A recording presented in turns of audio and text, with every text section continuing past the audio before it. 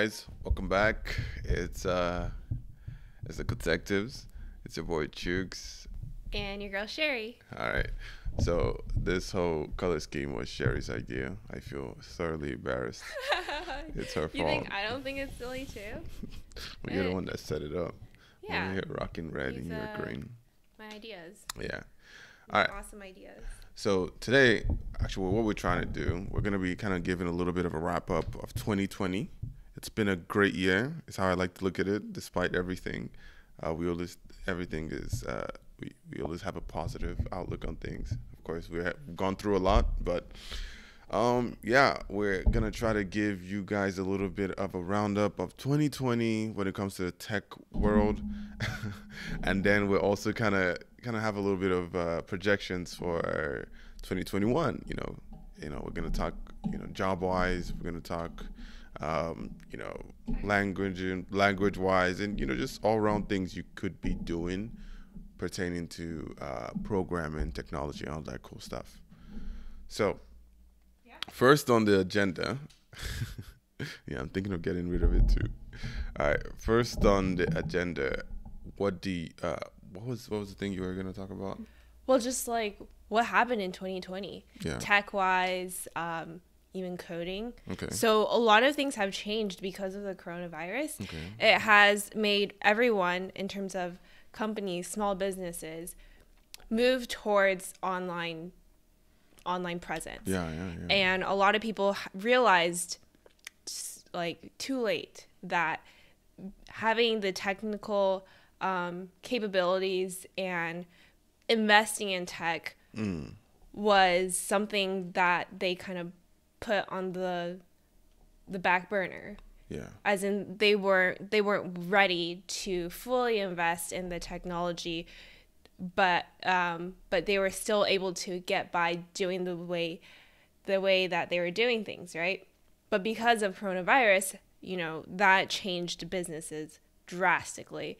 So they had to move their businesses that were you know maybe in store in person and move that online because I know so many small companies who didn't want to fully invest in tech have now realized that they need to put more emphasis on it. uh, yeah, interesting. Yeah. Yeah, yeah, definitely. I mean, a lot of you know fundamentals when it comes to the workplace has also changed. You know, people are working from home, and a lot of businesses are realizing that hey, maybe we don't need employees to be at the office. So now they're saving in office space by having individuals work from home, and they're also realizing how much more flexible and and you know how much more work can actually be done in some cases. And it also puts your managerial skills to the test. And what i mm-hmm. mean is you know when you have people working on, at their homes this is where you really test the culture. Do people really like actually working there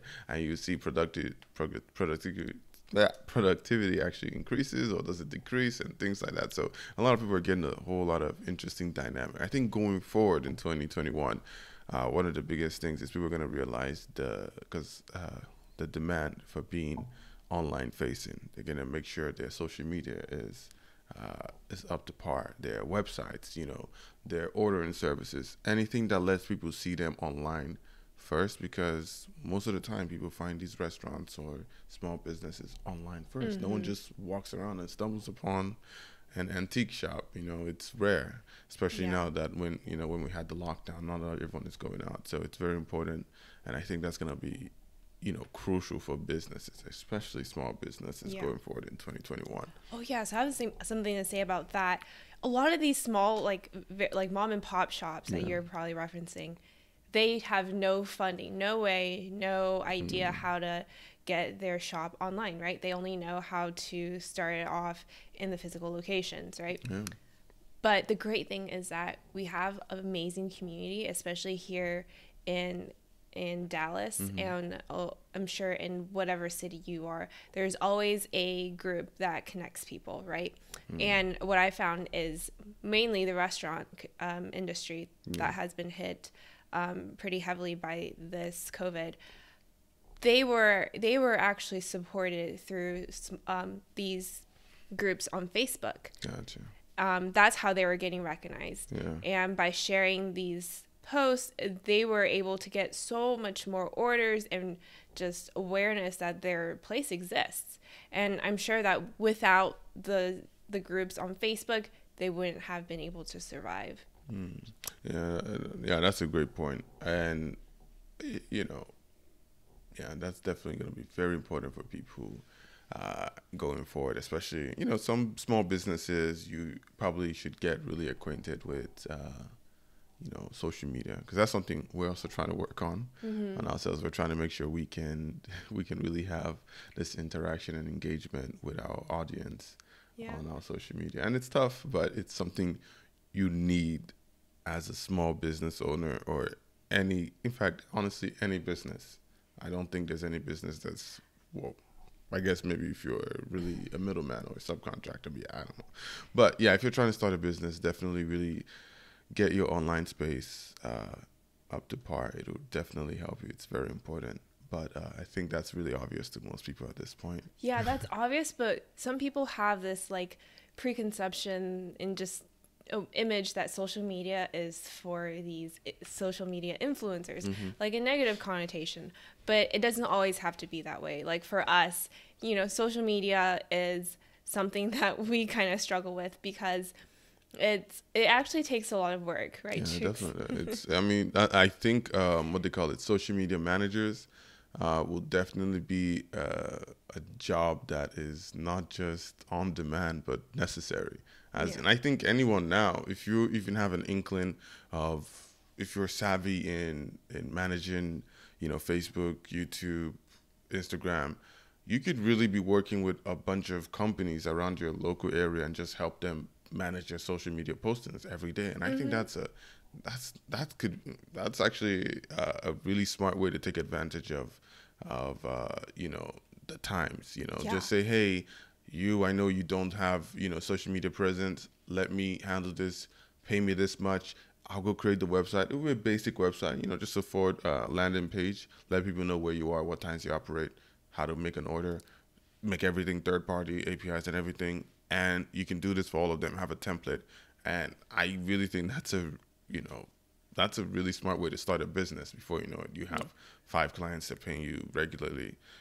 Yeah I, am really thinking why didn't i do something like that? Yeah that's uh, the thing. You don't want to look people always look down on those people but mm. it really is a job in itself oh, right yeah, most definitely like you're you're the photographer you're the model you're the content creator you're the brand manager you're you're the um what's it called the person that goes out to to get more yeah. um, advertising. Yeah, I mean, I mean that's how advertising has changed. Yeah. Ad content has changed uh, over to these uh, using social media influencers um, instead of your traditional TV broadcasting yeah. or radio broadcasting. What's What's interesting is that you know we went we went yesterday to uh, taco shop um, with our with um, my brother's girlfriend, and she used a term that was so interesting to me, which was before we eat, we let the camera eat. The camera eats first. That was so weird. Um, but we spent what you guys spent over an hour taking photos, making videos. More like Stephanie did. Yeah, so it, it was a long, pro- arduous process, and uh, you know, I wasn't Mad exactly for, for her. Yeah, exactly. It's it's not in of itself. It's look down on it as all you want, but when I saw her posting, she got she got hits, and you had almost like a hundred people talking about it, tagging other people, and it's just a it's just a compounding effect, and you know. Um, let's say if every 50 people, one person checks it out, at least if attain two customers, and now they uh, just in that first hour, and of course it has probably blown up further than that, but it's it's just incredible. You know, these things do work. I mean, it's obvious, but you, you know, it's just I guess a lot of people are just catching up to it now, um, especially mom and pops. Of course, they're in a different era, so they're not used to it.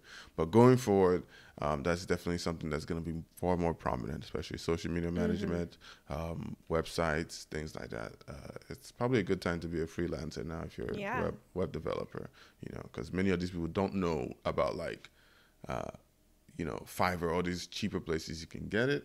I say cheaper, I don't want to be like you're trying to just hide them from, but I mean more like, you know, they probably want someone they can talk to that understands them and that's in their community. So it's a good opportunity to learn, get get into this and you can start your own company just providing I mean that's how all these uh you know, Bottle Rocket and all these companies have. You know, they just Yeah. work with But not just around. like from Fiverr or like online. Even if you reach out throughout your community, I know a lot of people have done that um, through different groups, business groups, Mm-hmm. um, tech groups, um, and that's how someone found me as well. Oh yeah, yeah, yeah. yeah. Just go into the shop. You can just talk to them. If they don't have a website, they say, "Hey, you know, I can help you guys with a website." sure. Create them a basic website that just shows, you know, just one page. Doesn't even have to have anything, and that does so much more because everything is online. Yeah. Um, Another uh, part of freelancing, Mm-hmm. um, and like a huge hit in 2020, is of course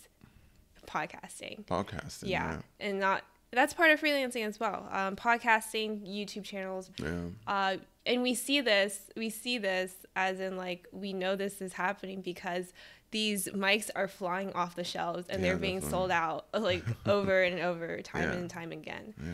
So yeah, uh, podcasting has been a huge hit, and it will only increase from here. Hmm. Um, this audio listening experience is something that it gravitates towards people who want to, to like hear um, content on the go, right? Yeah. And not having to actively watch something like on YouTube. So we know for sure that um, 2020 has been a huge hit for podcasting, podcasters, and same thing for 2021. I think it's only going to continue forward in that direction. Definitely. And now, if we also talk about, uh, I guess, going forward, uh, job prospects for uh, upcoming developers or people trying to get into the, you know, into technology, there's a lot. Of course, a lot of companies are making a lot of moves. We have Tesla, uh, you know, slated to come to uh, Texas. Uh, I don't really have much information on that as to where they'll be going. Probably Um, Austin. probably Austin, uh, maybe. Uh, so, and then you also have Google is saying that they're gonna consider an office over here. Of course, I don't know how In you know important these things are. Um, they might. I mean, what would be that could be possible, or they would go somewhere that has not been developed yet to Oh. save on, on a lot of money. Yeah. you know, because they know people are gonna follow them. No, it's it's So- like in the on the outskirts of Austin, maybe Yeah, near. so probably um, yeah, because a most likely because to build one of their gigafactories, they need a lot of space, and that's what I'm kind of keeping an eye on the news because they usually an- announce all these excavations, a huge clearing of uh, land. So that's usually where big companies going. Oh, it's already you know- happened. oh, oh, it has. Yeah, they they actually have a, or they already have an existing. Um, Did it have a planned location? Tesla. I don't know, but I just know that they've had an existing location for uh, their factories Oh, really? um, out in Waco. Oh yeah, so this is an opportunity for people in real estate. You know, definitely buy houses around that. Um, really smart way buy apartments. Uh, if you are starting a business, you know, keep that in mind. There's so many things you know you can play around these huge companies. Uh, but that aside, development jobs, you know, that also means that a lot of uh, developer jobs will come here if Google or these other bigger companies come here, Apple, who knows. Uh, so you can always look around your, you know, local area to see what jobs are about to start changing. Like in Dallas, I know Angular is kind of popular, right? But React is like not I don't want to say steadily, quickly overtaken. Like most jobs are now React. Um, so that's something to consider. So JavaScript uh, development is of course still on the rise. in terms well of front end frameworks, yeah. Yeah. Um, we only say this as in the existing. I would say the existing platforms are on Angular, but Mm-hmm. going forward, a lot of companies choose React over Angular because of quicker, faster uh, turnout for the development. And also, not only React is getting popular, Yeah. Vue is actually increasingly, like exponentially, I knew that's becoming what's gonna happen. becoming more popular. Yeah, and do you know what's uh, uh, interesting is you know how um, you know how kind of like how MySpace came and went like its era came and went, and everyone was saying the same would happen for Facebook. I mean that Facebook is old, and of course, right now you can say Facebook is old, but it's still it's still more than relevant. As in, there's still a lot of users there, right? Well, yeah. The thing with MySpace is that it only captured a certain demographic of people. Well, well, not exactly in that case. It's kind of more so.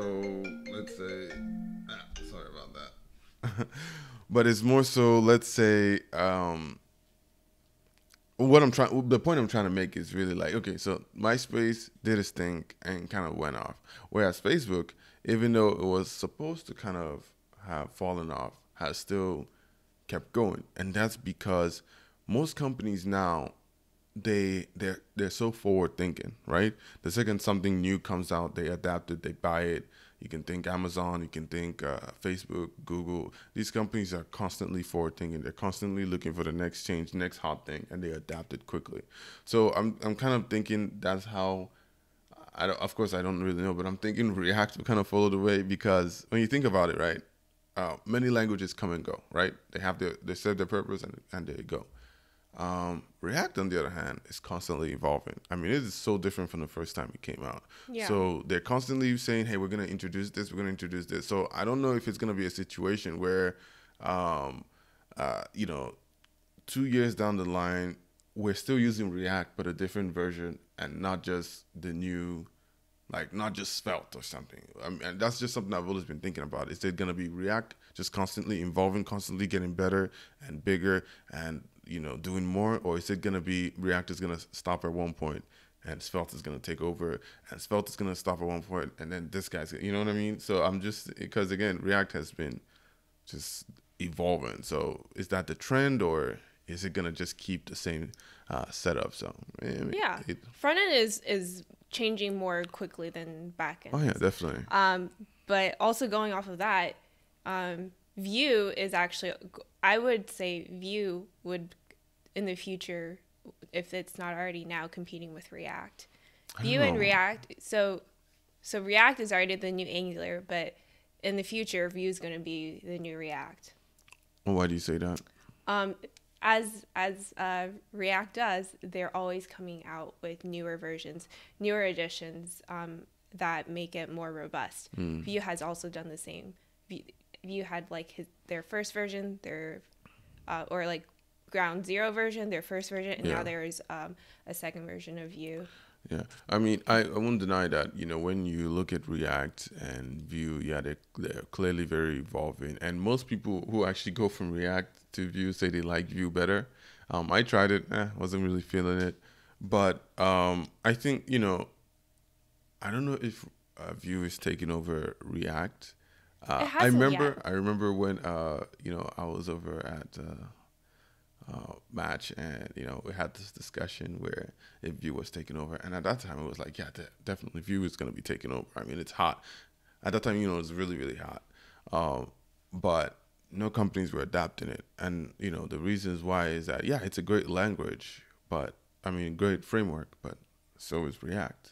You know, uh, it's not that um, one is worse than the other it's just different. And Not if if if React is working just fine, what's the point of readapting? Do you know what I mean? Well, the thing is, React has has such a huge backing, like a huge exactly exactly um, backing it up. That's also also partially true. because of Facebook. Um, Vue, though, I would say is a little bit different than React. For a lot of companies who want to uh, spin out something really fast, mm. especially in the year of 2020, mm. Vue has caught up so quickly because people will choose Vue over React because because of that reason because they're in in a time crunch and they needed to get something um, like built just mm. like that comes out of the box and built into production as fast as possible. Mm. I mean, yeah, there's there's definitely that appeal. And there's another framework, um, Ember, that has also kind of brought back into popularity because mm. of also production reasons of being able to um, reduce error in production um, and deployment. But you see, and the thing is, although yeah, that these are all very true, but then you realize that React has all of these in excess. And here's what I mean: like there's React with TypeScript now, and I think and that that side of it is getting really robust. In fact, the community is trending that way. So you now have this error, you know, error typing. Uh, React language yeah. that's now really you know uh, that prevents a lot of bugs. And then there's the out of the box React code. If you need to get something, you know, you got Gatsby, you have Next, you have all these uh, frameworks and packages that come with it. So you can just say, okay, all right, I need headless CMS. I need, um, you know, I need a database. You know, you just have all these packages that are just ready to go. So yeah, I mean, honestly, we can't really predict the future. It's just because what makes a company adapt, you know, because migrating to a new software is very difficult, very expensive, very time consuming, and halts new features like significantly. So for a company to adapt it, new companies might, but you know, you'll just have to because you'll just have to balance the business with the technology, and you know, React always seems like the better option in most situations. Yeah, but I would say you're you're really biased the No. fact that you really you're like a, a React I- fanatic. Though I I do too love React, I- but I'm saying that these other frameworks really be on the watch out for them. Oh, um, yeah, they have their different purposes, but um, in terms of React, it's more of that. There are so many other um, frameworks that that React supports that is based off of React, like Next.js. If you want to do server um, ba- uh, server side rendering, if you want to do a headless CMS with Gatsby, um, and these are all something that's um, what is considered SEO friendly. Yeah. And SEO is becoming huge in terms of like e-commerce and things that you are trying to sell. So that's why um, React has that edge over Yeah. these certain frameworks. But obviously, you want to look at uh, different industries and different companies to see what their goal is and what their product is. Um, but yeah, we got gone over um, a couple of few front end frameworks, but in terms of back end, what do you think? I feel like things have been pretty steady on the back end. Python for sure has made its like increase in popularity because of automation.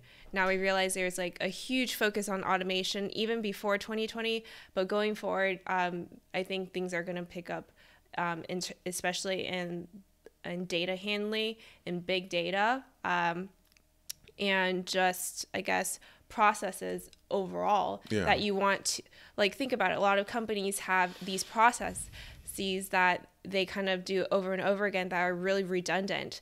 They're gonna want to go towards uh, Python, which will like Python for the language to automate certain things. Um, so I would say in 2021 that will continue to be something to look out for because um, automation has been uh, key for a lot of companies to catch up and move forward um, in terms of adapting to technology and the changes in the industry. Yeah, of course, you know the like you already said, uh, the back end moves far slower than the front end. It does. yeah, so the back end moves a lot slower. I guess I'm like, yeah, but the back end moves far slower than the front end uh, when it comes to all these you know new things. But uh, yeah, Python is definitely in the lead. Um, what do I see going forward? Apart from just simply simply the languages, um, machine learning. I mean, it was very hot. It'll definitely continue to be very hot. It it it is it's it's definitely something if you're interested in you should pursue because it's a really cool it's a really cool um I don't know what to call it you know section. It's really really cool. You can do a lot of cool stuff. And it's also probably to everyone's benefit to learn a little bit about the future because machine learning is already here um, and it is a, uh, it's in a lot of things but um, i mean yeah and what else uh, So I would say like the majority of uh, businesses have not caught up to machine learning. I would say the uh, the front runners are the ones who are already t- taking the changes and pushing forward the innovation for it. Um, but I, I think everyone else is still playing catch up and will still continue to play catch up in 2021. Um, some will kind of stay there um, and kind of uh, adapt to how things go. yeah Um, but those who who kind of realize that you know they need to continue to innovate are the ones who will adapt and take on these new technologies that aren't essential for their businesses but add value to it. Mm. Yeah.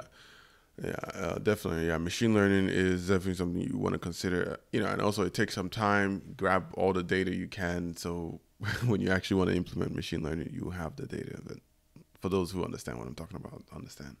But okay, so now we've kind of talked about the back end and languages that will probably take precedent going forward.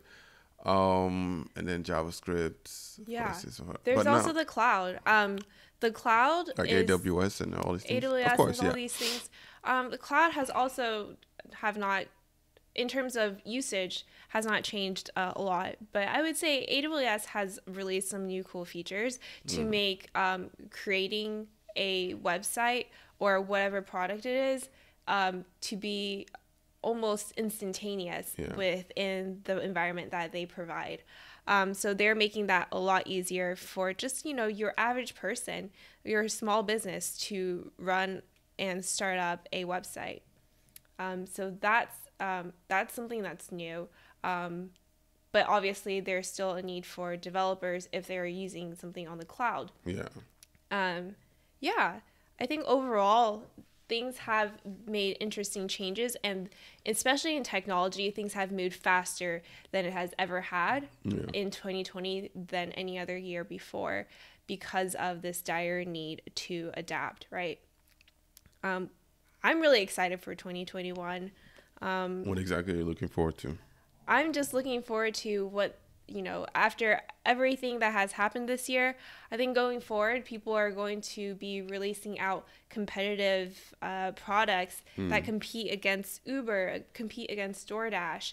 There is going to be new um, new competition on the market. Mm. There's, I would say, there's a lot of uh, products that will kind of support businesses, more digital products. Yeah, it's actually interesting because me and my a friend of mine uh, during the coronavirus, uh, you know, the coronavirus pandemic, or I guess we're still in the midst of it. I don't know. Um, we were talking about how the you know all these DoorDash and Uber Eats and all of them were just yeah. servicing restaurants, and they significantly were, especially for small mom and pop restaurants where it's it's just hurting the business tremendously you know, a lot of them are not making profits from you know people who order these uh, restaurants. Yeah, I was just and, at yeah, Velvet Taco yesterday. Yeah, and it said on there, um, "Thank you for using our our online platform because mm-hmm. if you like order online from or order directly from their store." Mm-hmm. They get twenty percent more more of the mar like twenty percent mar- more margin from mm. their like the cost than if you were to use DoorDash or some other delivery yeah. app. And you know the thing is that these um, you know these services are so disjointed from the restaurant that communication is off.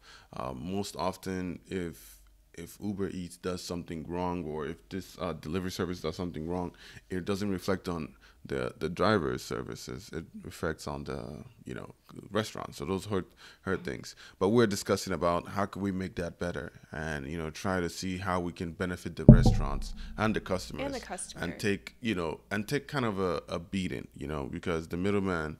Uh, is just the middleman, uh, but if they can take a beating to just benefit these two, that kind of service will definitely be really, you know, it definitely be loved, of course, but it's very difficult to do, especially when you're if you're dealing with what they call it, if you're dealing with um contractor to driver, you know how you know you gotta somehow appease them. How do you gonna make them money? And it's, it's a tough it's a tough line to work, uh, walk, but definitely going forward, that's gonna be something that's gonna change, especially now that everyone is ordering.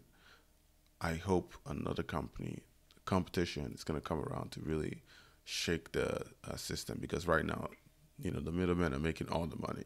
I never use Uber Eats, DoorDash, any of those things. They're just too expensive, and they're unreliable, and honestly just don't like the services. I mean, you can order a taco for five dollars and delivery is like fifteen dollars, and then you have to pay tip. I'm like, no, I'm good.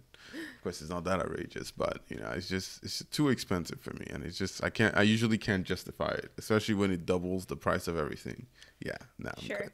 Yeah, it doesn't really double the price, but it does add on a hefty fee, and then you feel obligated to tip the driver as well. Yeah, But yeah, um, these delivery apps they have advantages, and I think a lot of people are so grateful for them because if if we didn't have these apps um, and these services, the whole 2020 would be so different. Like so many people rely on Uber Eats and DoorDash and whatever Grubhub app it is for delivery because you know sometimes we just want the convenience of having it delivered to our place especially if we if we have to work um, and we don't want to prepare things. I, I know like now some people say that their work life balance has kind of like dissipated and work kind of meshes in with their personal life.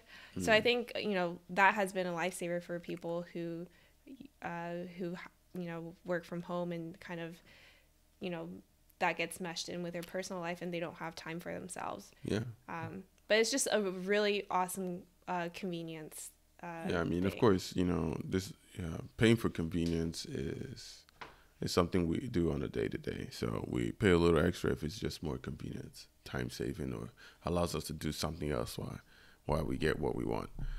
Um, so yeah, I, I, I, you know, but yeah, it's a good thing.